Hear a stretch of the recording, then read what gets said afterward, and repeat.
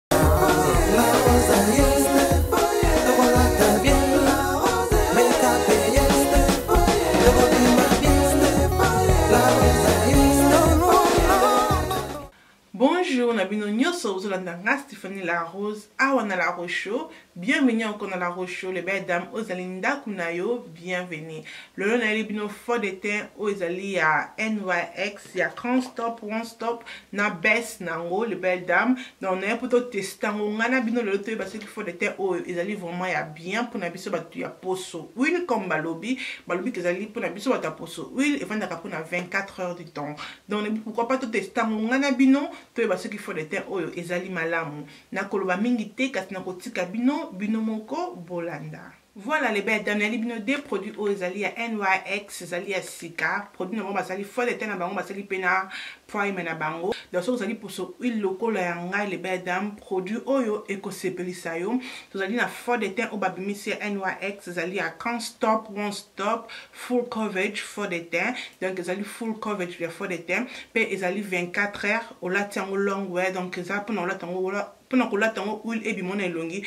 ekosala yo 24 heures les belles dames na 24 heures nga boyebi ke elongi na nga deja oyo atalaka nga na youtube andaka alobi ke elongi na nga ezalaka na problème ya huile surtout awa na zolo boye nazalaka vraiment na problème ya huile soki namoni ke faux de teint moko ebimi bazobaka ezali mpona huile ekobima yo lisusu te les belles dames pourquoi pas naya kopartage yango na bino Yo pesa ozali na problème ya huile okozwa solution na fond de teint oyo. Fond de teint oyo baoteka yango 15 livres, okoki kosomba yango na Superdrug, okoki kosomba yango na Boots, okoki kosomba yango na LYX website na bango moko. Euh, donc euh, nayebi ke j'avais biso botali tali je ba video na yango na na YouTube. Nayebi pourquoi pas nga pena ya kosala ya nga parce que euh, boyebi ke lungi na nga ezalaka mafuta. Donc euh, couleur oyo nazo sala ezali couleur ya cappuccino Comme boyebi kinga asala ami quand même parce que nauti kobota tentine na ngai eza nano na se ça fait trois semaines que nauti kobota bozomona elongi na ngai nde ezali mais trois semaines déjà déjà les belles dames ça va trois semaines ça va nyonso kaka mpona niveau na grâce beauté trois semaines déjà ça va oui donc grâce beauté boyebi déjà grâce mosala na tila grâce beauté soki omonake tentine na ngai ezozonga mbangu boye eza mpona grâce beauté mpe nazwi mpe na baisse na yango ezali mpe ya eh, can't stop won't stop bes nango donc na utilize nyonso mibale boye tomona nde ezali baoteka yango one moko moko na 15 livre mibale bosali yo na 30 livre nakoloba mingi te lebeda na okende na video tomona ndenge ezali parce que naza vraiment eloko liboso oyo tokosala lebeda tokomoshwaz elongi na biso na vitamine c ya, ya boot pardon ya body shop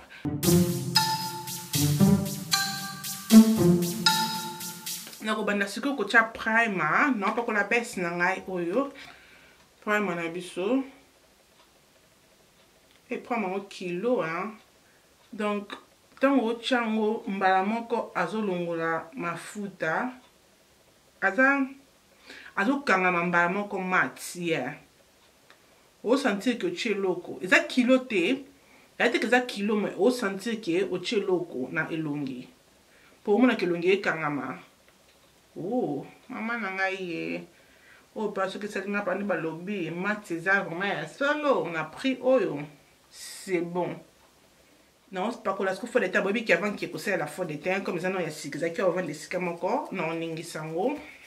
soki ngai asalela mingi brosse après cela nde nakoya kosalela éponge eloko nasepeli na molangi na yango ezali mpe na, na pompe eza vraiment bien eza na pompe mpe eza 30 ml na kati eza ebele mpo na 15 livre c'est bon nakopompe yango mpe susu na maboko nde bozomona wana eza te ke eza mai mai eza eza mai mai te eza eza kilo te ke makasi ezo ezo roule mais ezo roule malembe donc euh, c'est ça na osalela koto moko e totala sikoyo différence bomoni ndeni bomoni ndenge euh, kombo na bes ndeko mosana nde esali nga elongi donc ekangi nga vraiment elongi makasi namoni na otya koto moko mpo totala ndenge ekosala mm -hmm.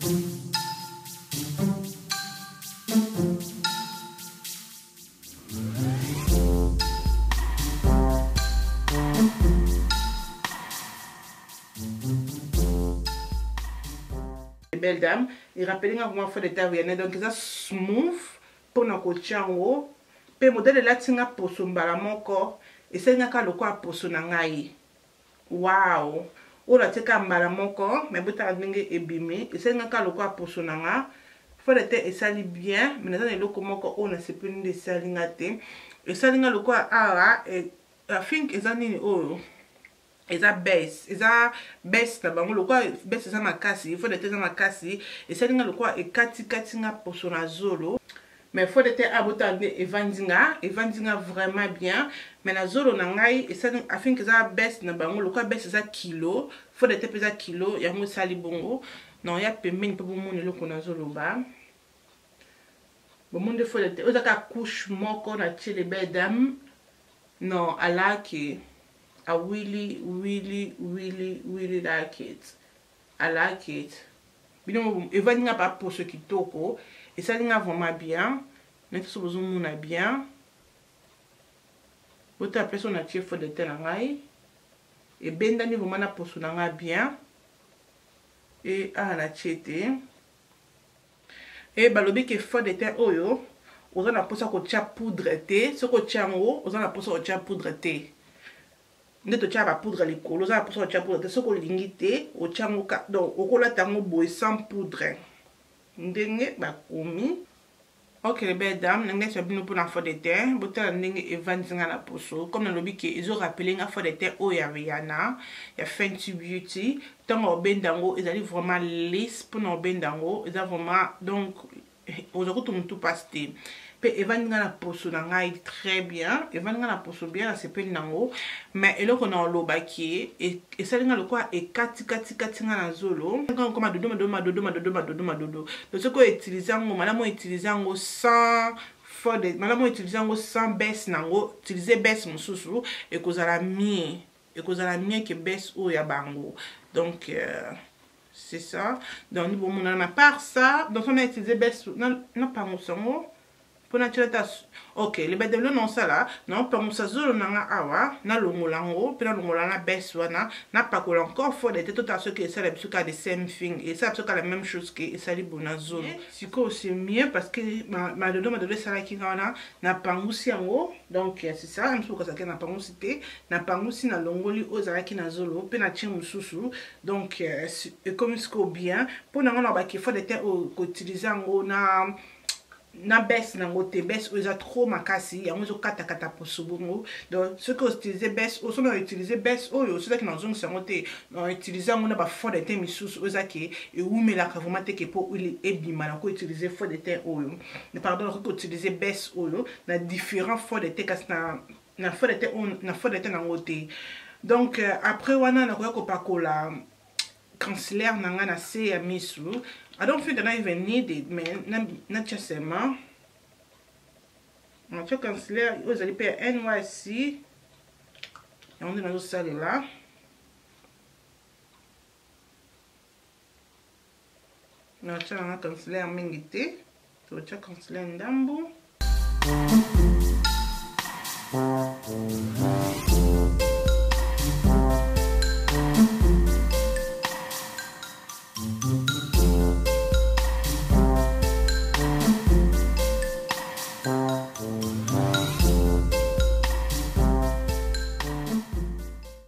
Nakoya kopanko, nakoya kopakola oyo ezali NYC HD finishing powder, yango nde nakoya kosalela. Nalinga poudre oyo pe mingi, mais napakola na kaka bisika oyo natiaki concealer.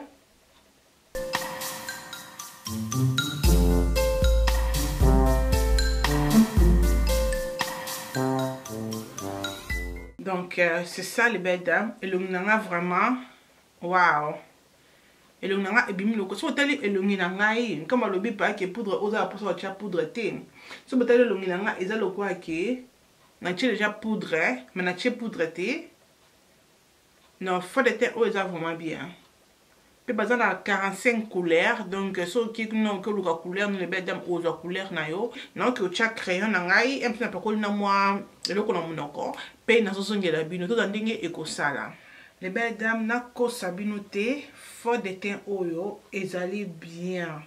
so na yebisi bino ki na pakoli poudre na pakoli poudre ya poussière te mais botala ndenge elongi na nga ebimi ezali teke natie poudre ya poussière non natiaki kaka faux de teint na nga nde bomonaki e natiaki consilaire na fandisi consilaire na na poudre oyo nalakisaki bino ya pembe et natie engengiseli mwa ndambu to ngenga mwa moke natie fard à jour fard à jour mwa ndambu sans poudre ya pembe ami pardon sans poudre ke natia poudre mobimba na elongi na ngai natie te et nazwi spray na ngai natie parce que namonaki ke elongi na ngai ekomaki kokangama mat makasi me botala ndenge elongi na ngai ebimi ngai moko natelemi mpo nalata chapeau natala na kitalatala na ngai na gangi natie wow elongi na ngai ebimi lokola natie poudre lebede me natie poudre te non poudre oyo eza vraiment boso soki naye kotia poudre naye kotia contouring natie nyonso wana ebima nga comment le bel d'amour tala ndenge vraiment elongi na ngai evandi nga evandi ngai très bien lokola natie poudre ya poussière mais natie poudre ya poussière te okay. nasali makeup na ngai na 16 heures tokomi 16 heures 26 na ovanda nango ata timba 22 heures totala ndenge elongi na ngai ekosala soki ekosala mat bien soki Mm, pardon soki ekotikala mat bia soki mat ekolongwa comme balobi ke ezali mpona 24 heures donc je pense soki avanda deja mpona 5 heures 6 heures du temps c'est bon donc euh, non ya pembe na caméra mpo tomona ndenge poudre na biso esali bozala na zoom mpo tala nde poudre esali nga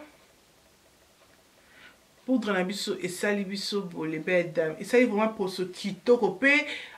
omoni bapoudre mosusu ezalaka soki otie maquillage okosimba elongi te me botala oyo natie nasimbi elongi botala nasimbi me botala etiki te ke maboko ke moto asimbi e maboko na nga eza pe na poudre te bomoni donc eza donc